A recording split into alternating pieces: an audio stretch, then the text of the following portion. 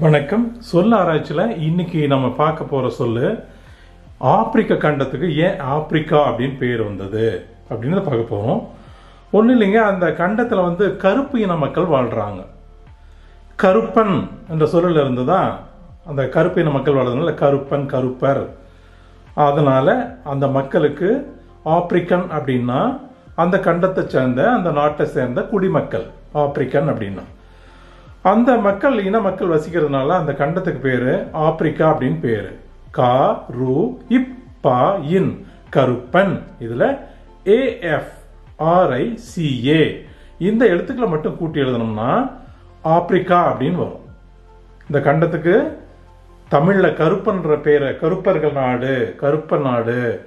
அதனால தான் இந்த சொல்ல இருந்து தான் இந்த ஆப்பிரிக்கா அப்படின்ற சொல்ல உருவாக்கியிருக்காங்க. உலகத்தில் உள்ள எல்லா மொழிகளும் தமிழிலிருந்து உருவாக்கப்பட்டவை. உங்களுக்கு தெளிவு விளங்கியிருக்கும். நன்றி.